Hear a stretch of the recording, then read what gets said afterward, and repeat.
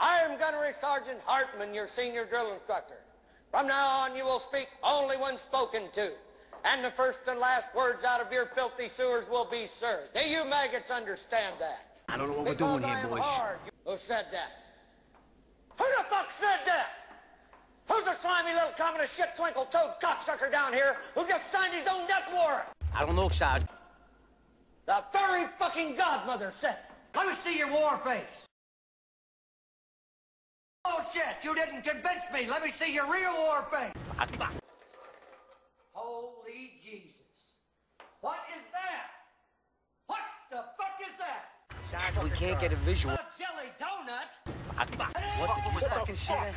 What the fuck is going on? I'm asking the fucking questions here, Private. Do you understand? What is your major malfunction, numbnuts?